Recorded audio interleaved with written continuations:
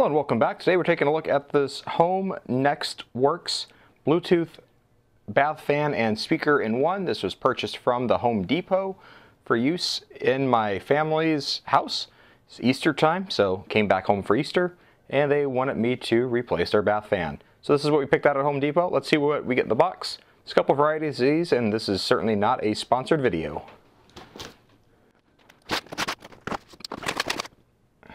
As we see what comes, we've got our instruction manual. And then we've got our unit here packaged with some styrofoam. Comes out like this. The styrofoam off either side. We've got a grill that goes separate. This is has a Bluetooth speaker as well as a bath fan. So we've got our cover here. This is going to be, should be largely cosmetic.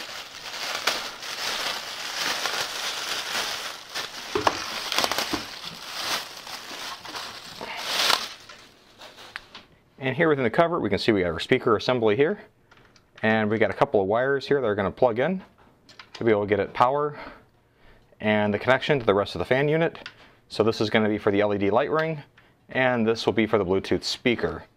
And then we've got our clips here. We'll have to figure out how these clips connect in on either side to be able to secure this up into the rest of the box. So white speaker with a white grill. The LED is in the ring around here. So that should hopefully work out fine. Looking at the fan motor, we see this is nice and clean. We know that's always an issue with older bath fans is it just collects lint and dirt and accumulates a bunch of crud in there. We've got a, a flapper here to help keep uh, moisture other stuff going back the other direction through the vent. This is a nice soft plastic. So that should help keep things quiet. This is supposed to be a relatively quiet unit here. As we look at some of our wiring options, we got our connectors here. This is what faces down towards the bathroom here. We've got our connection here for the speaker and for the fan. And then coming out the other end here on the side, this is what we're going to wire up. We've got these lever action or press fit wire nuts already installed. So we got our ground. And then these are all labeled here. So we've got the light,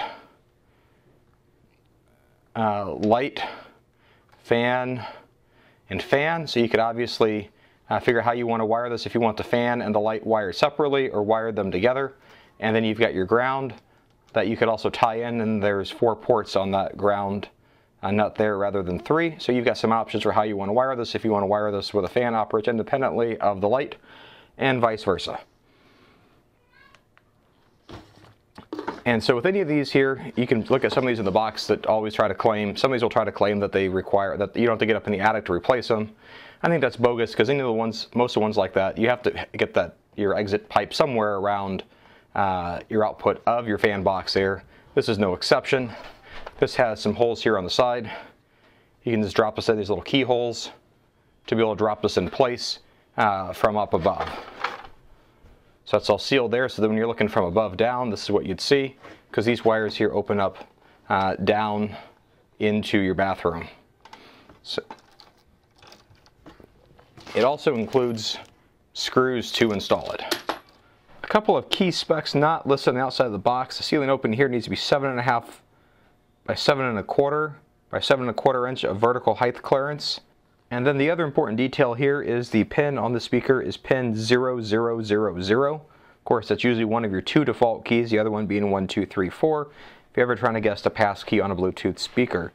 Of course, the usual precautions here when using electricity, Make sure you got the power disconnected before proceeding. If you don't feel comfortable doing electrical work, always call a competent professional and make sure you know how to disconnect the power from your existing unit. Here's the old unit we're going to be replacing. Let's remove the screw holding the decorative cover on this one. It's always faded and this was probably installed in about 1986 based on the age of this house. And we can see the lovely existing unit.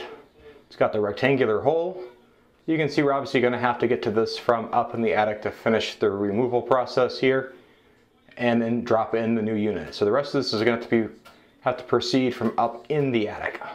The basic tools we need for this project are going to start with a drill. This makes it easier for installing and removing uh, the device. You may need some sort of a longer screwdriver or a prying device if your old unit was stapled in, which this one was. Uh, you also want some foil tape to be able to seal up any gaps in the openings and to make sure your exit or your outflow uh, discharge pipe is properly sealed to the unit. So get the foil tape. I know it's a little expensive, but it's definitely worth it.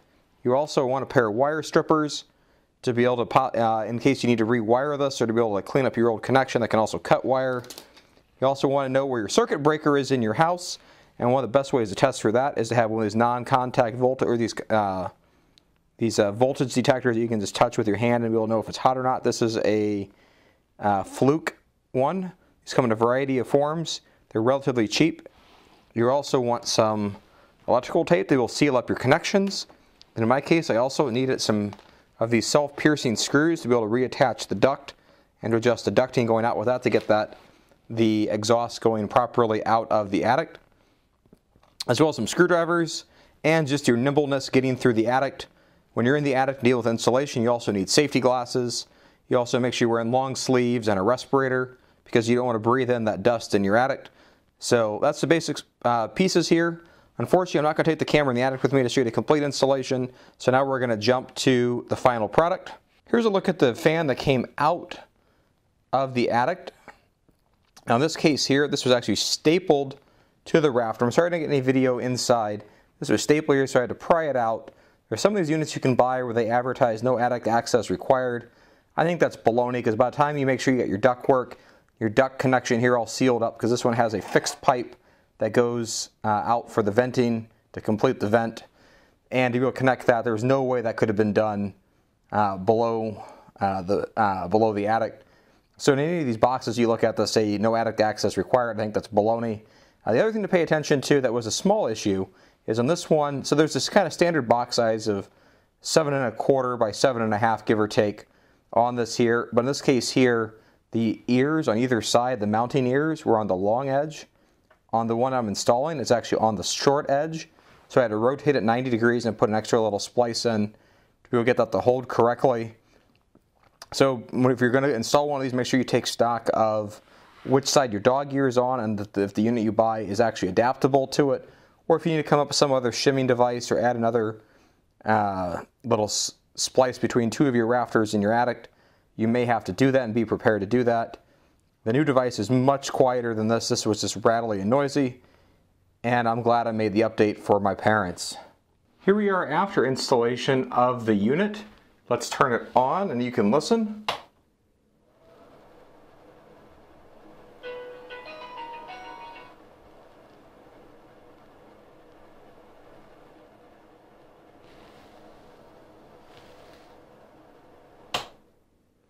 As you heard, it does play a chime when it turns on for the first time. I discovered it's a little finicky with pairing a little bit if you're going to pair more than one phone. Still works yet, but it can only have one phone paired at a time and you have to turn it off and back on again before you can switch to a different phone. And there may need to be some rule or etiquette rules about pairing and unpairing or disconnecting after you're done using. We had an issue in testing this earlier where one individual had it paired from the night before, did not remove it from their phone, and upon startup the next morning, someone else was not able to connect to it with their phone. So there might be some etiquette rules around your house if you do something like this about who is currently paired or connected to the Bluetooth speaker in the device. Otherwise, it sounds great. Due to copyright rules, I'm not going to play any other music through it, but it's, it's not the best quality speaker. It's a bathroom speaker. You can do some other things like you can connect it via Bluetooth to a Google Home Mini or another Google Home to be able to transmit commands there. So I think it's another novel use for it, but it's very quiet and the light that it puts off is actually really nice and soft. It's about a 4000 Kelvin give or take on the LED ring. Uh, works great and I hope you found this video useful and informative about this bathroom fan. Have a great day. Bye.